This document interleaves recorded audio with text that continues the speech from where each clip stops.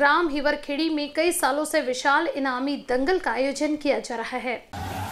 ग्राम पंचायत समिति द्वारा दंगल प्रांगण में हज़ारों की संख्या में लोग ग्रामीण क्षेत्र से एवं बाहर के बड़े बड़े शहरों से भिंड, मुरैना, इंदौर, ग्वालियर, भोपाल, बैरागढ़, जिला शिवनी से एवं ग्रामीण क्षेत्रों से पहलवानों ने कुश्ती का जोहर दिखाया, जिसमें सभी दर्शनार्थियों ने आनंद लिया। अंत में समिति की ओर से शेर दंगल कराया गया, जिसमें बहुत से पहलवानों ने कुश्ती लड़कर अपना अपना दावपेच के साथ अपने हुनर दिखाते हुए कुश्ती लड़ी, जिसमें जिला शिवनी से शिवशंकर पहलवान और भिंड से पहलवान विजय भाटिया की कुश्ती अंत में हुई, जिसमें शेरे दंगल भिंड का पहलवान विजय भाटिया को प्रथम पुरस्कार, तेईस हज़ार रूपए की राशि पुरस्कृत की गई। साथ में ग्राम महुआ थाना में एक शील्ड पुरस्कृत किया गया।